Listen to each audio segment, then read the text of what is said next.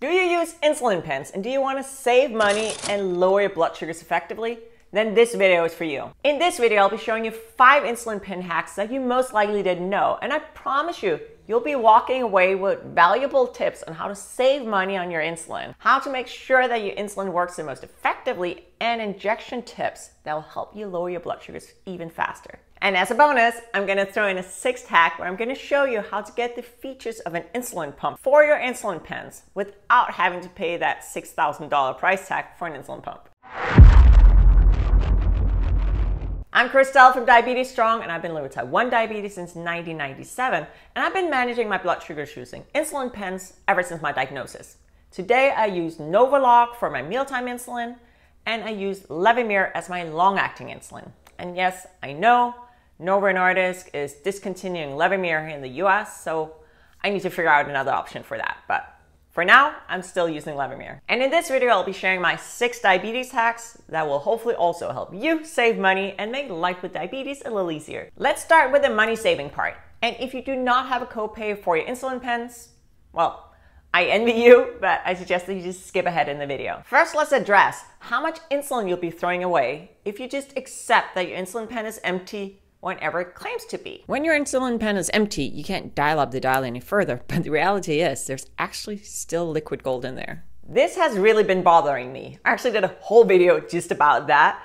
So the way I've solved for this, and this is a hack, I got a box of syringes and I draw out those last units of insulin. A quick note on this though, you do have to make sure that your syringe and your insulin is compatible. So my insulin pens are U100 and the syringe has to be U100 as well. If you have a U200, it has to be a U200 syringe. Another money saving hack is to use copay cards to help lower the cost of your insulin. We're starting to see reductions in insulin costs here in the US, which is great. And a lot of people will see that from 2024, their copay cost will be $35. Again, awesome.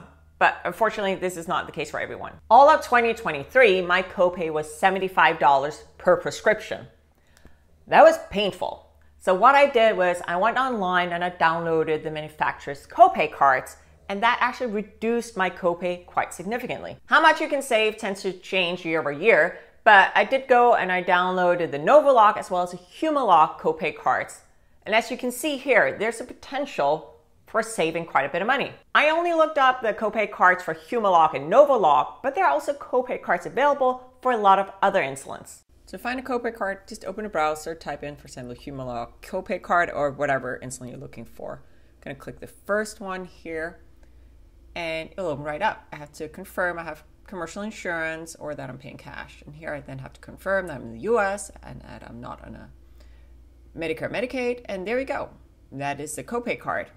A lot of copay cards can only be used in combination with a commercial insurance. However, there are also programs available for people who do not have insurance or people who are low income. So try and look up patient assistance programs, or if you use a Novo Nordisk product, go to their My Insulin RX program and check that out. And my final money saving hack is to not use my insurance to cover my pen needles. That's just way too expensive. Of course, you do need a pen needle to actually get the insulin out of your insulin pen, but the thing is, most of the pen needles available will work with pretty much any insulin pen. And the thing is, in most places, you don't need a prescription to buy pen needles. I used to get a prescription for the BD Ultra 4mm needles, and I would use my insurance to help pay the cost of those. But remember how I said my copay was $75? Well, that also applied to my pen needles. So I stopped using my prescription, I stopped using my insurance to pay for them, and I started buying them online. I've ordered a few different brands from Amazon, but my favorite so far has been the Diathrive brand. Uh, a box of Diathrive pen needles is $9, and if you order for $25 or more, it's free shipping. I also tried another cheap brand from Amazon called Medfine. Those are $8 a box. Unfortunately, not all the pen needles work though. How can a pen needle not work, you might ask? Well, I do an air shot before every injection to make sure that insulin is flowing. And the thing is, with some of the metfine needles, insulin was clearly not flowing because nothing was coming out. So, you know, those needles I just had to toss. So, yeah, there are cheaper options, but not all of them are worth it. Now that we talked about saving all the money that we can, let's move on to getting the most effective insulin injection. And the first hack is to keep your insulin at the right temperature. Thing is, if your insulin gets too hot, it can lose its ability to lower your blood sugars effectively. And I mean, that is the main reason why we inject insulin, right? Unopened insulin should be stored in the fridge opened insulin, so the insulin pen that you're using, should actually not be stored in the fridge. More about why in a second. Your insulin, opened or unopened, should not be exposed to temperatures higher than 86 Fahrenheit, so that's 30 degrees Celsius. Or you risk that it'll go bad. And it's really hard to see if your insulin's bad. You can do a visual inspection, and if it's cloudy or discolored, you probably want to toss that, but it might not. It might just look like your insulin. Another way to tell that your insulin's probably gone bad is that if it's not lowering your blood sugars as expected. My hack for keeping my insulin at the right temperature when it's really hot outside is to use a small cooler. So this one is from a brand called 4All Family. I'll leave a link to that down in the video description. What I like about this one is that it's really light and it's compact so it's easy to haul around. Now let's go back to why you do not want to store your opened insulin in the fridge. And that is because doing an injection with cold insulin can be more painful. Ow! And we don't want that. One of my favorite insulin pen hacks for quickly lowering blood sugars is to do the injection into the muscle. Okay, so hear me out. I know that injecting directly into the muscle is generally not recommended. However, injecting into the muscle can actually lower blood sugars much faster than if you inject into fat. I'll generally only use this approach if my blood sugars are really high or if they're like lingering. It's like one of those stubborn highs that is hard to get down. I'll do an in muscle shot, but the thing is, it often it tends to sting and it can even hurt a little bit, but it will most often lower blood sugars really effectively. If you decide to try out this technique, you do have to be careful. Again, since it can lower blood sugars really quickly, be mindful of that so you don't end up with a low blood sugar. It might also be a good idea to just discuss this strategy with your medical team, just to talk through the pros and the cons. When I do a muscle injection, I usually inject into my shoulder, into my delt, um, and I, since I use a four millimeter needle, it's a fairly easy one hand injection. With a four millimeter needle, I don't have to inject in an ankle, and I don't need to pinch the skin before doing the injection. Since it can sting or hurt a little bit, I definitely recommend that you grab your room temperature insulin pen and not one directly from the fridge. Now that I showed you how to save the money and how to make sure that your insulin works effectively, let's now move on and I'll show you how you can get the features of an insulin pump for your insulin pen without actually having to get an insulin pump. Well, almost all of the features, you still have to do the manual injections with your insulin pen. There are a lot of really brilliant things about an insulin pump. However, the 24-7 delivery of rapid-acting insulin, as well as the tubing or even the non-tubing pod, it's just not the right solution for me. But I still want some of the features of an insulin pump. I still want help calculating my doses. I want something that can keep track of my active insulin on board. I want the reporting and in this hack, I'll show you how to get all of that without the pump. There are actually quite a few different options on how to do this.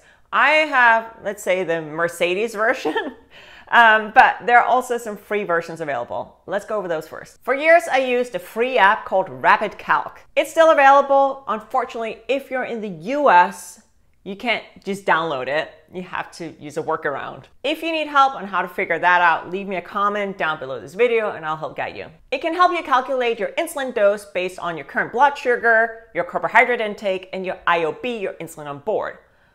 No more math on the fly, and it'll even keep track of your IOB. It also has reporting. The reporting is not brilliant, it's really basic, but it's there. Another free option is the Omni Insulin Dose Calculator. It's very basic. It will calculate your dose based on your carbohydrates and your blood sugars. There's no reporting, there's no app, but it does the basic math for you. And then we have the InPen. This is a smart insulin pen, and it can pretty much do anything a pump can do except for actually delivering my insulin. It's manufactured by Medtronic, so you know, the pump manufacturer. It's a reusable insulin pen. So that means I keep the pen and I just change out the insulin cartridge. The battery life is one year and the pen will automatically Bluetooth all my doses to the InPen app. And the app is really the brains of this whole product. Here I can calculate my doses, see my IOB, my active insulin board, set up my insulin dosing reminders, and see my dosing reporting. I've linked it to my Dexcom CGM, so I can also see my blood sugar levels in the app and how my doses impact my blood sugars, which I find super helpful. It even has a temperature alarm, so if my insulin gets to those 86 Fahrenheit, 30 degrees Celsius, I'll be alerted. This is really one of the most effective tools in my diabetes toolbox. I absolutely recommend it to anyone. I should mention that this is a prescription device, so you do need a prescription from your doctor, and also it can be excessively expensive. However, Medtronic, the manufacturer, does have a coupon. And with that, you can pay as little as $35 for your InPen. Do you have any insulin pen hacks? Are you gonna try any of mine? Leave me a comment down below this video. Do you wanna learn more tips and tricks, such as how to avoid insulin injection bruising or where to inject insulin? Then check out this playlist. If you like this video, please give it a like and leave me a comment down below. Also remember to subscribe to my channel and turn on notifications. That is that little bell. That way you'll be informed whenever I post new content. Thank you so much for watching and I'll see you next time.